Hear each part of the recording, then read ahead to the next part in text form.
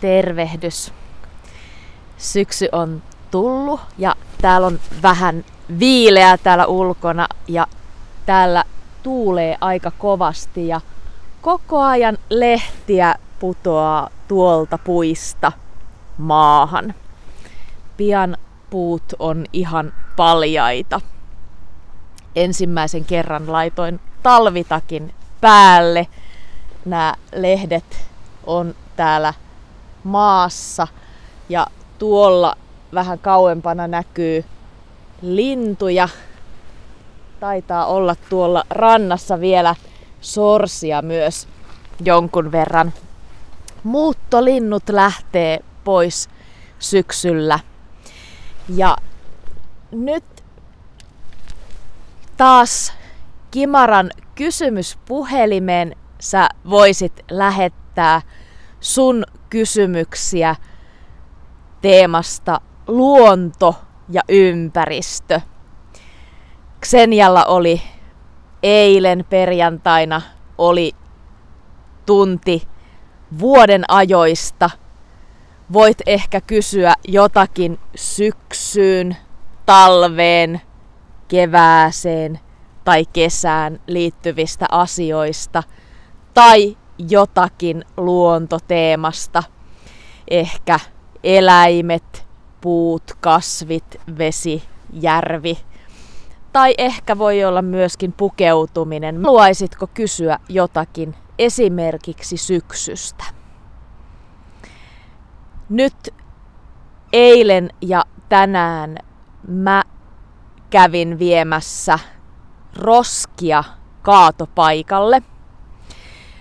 Meillä pihalla oli, mä näytän, täällä on sama juttu, paljon lehtiä maassa ja me haravoimme niitä lehtiä isoihin jätesäkkeihin ja sitten veimme kaatopaikalle monta pussia trailerilla naapurin sedän kanssa.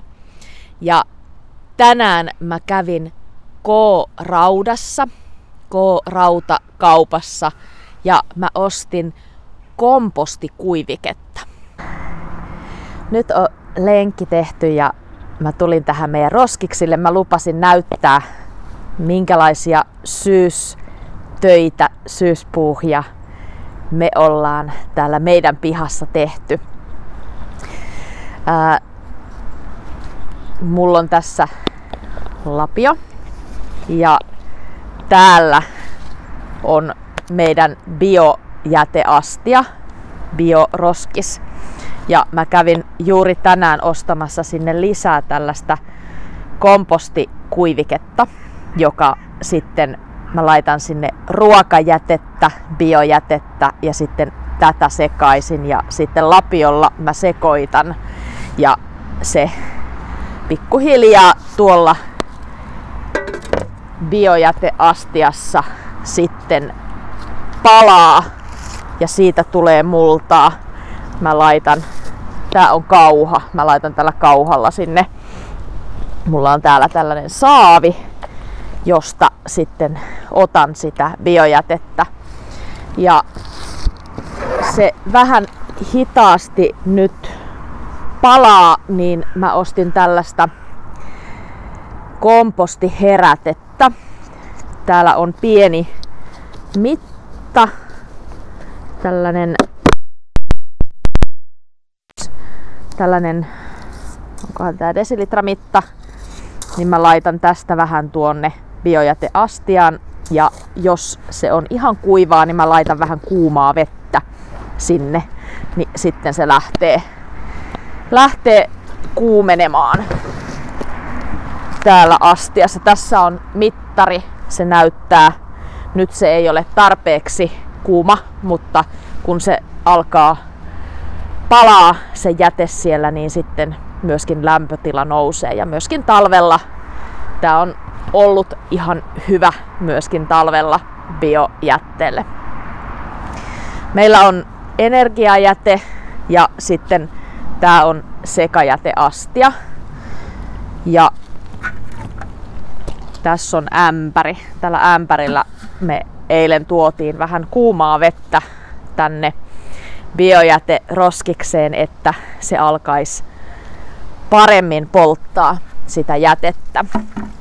Ei ole liian kuivaa.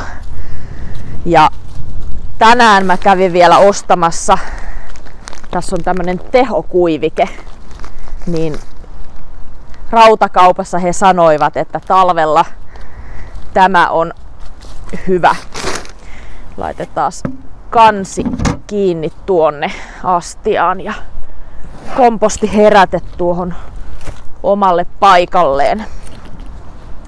Sitten me ollaan haravoitu lehtiä tuossa. Tuolla näkyy, meillä on tällainen pieni, pieni vanha peräkärry. Me käytiin eilen viemässä kaatopaikalle lehtiä.